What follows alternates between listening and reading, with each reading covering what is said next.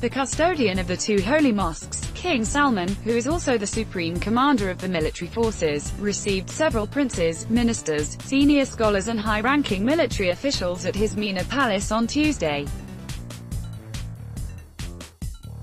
came to greet the monarch on the occasion of the Eid al-Adha. Crown Prince Mohammed bin Salman, Deputy Premier and Minister of Defense, was also present.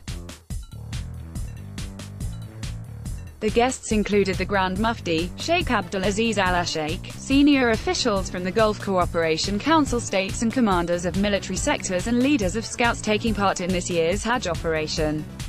Addressing the audience, the king congratulated all citizens and Hajj pilgrims on the occasion of Eid al-Adha. Tragedy for killer teenage lover as father dies, Allah Almighty has honored this blessed country with a service of pilgrims and visitors of the two holy mosques that allows them to perform Hajj rituals in ease and comfort.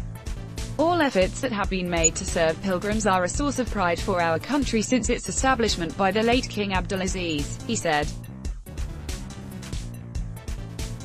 Saluting the armed personnel for their heroic acts and sacrifices. The monarch said, the pilgrims and the whole world watch and feel your efforts in serving the pilgrims. This is your duty and an honor that you will be rewarded for by Allah Almighty. The king added, We are proud of the great sacrifices being made by the military personnel to defend our country and protect its holy place.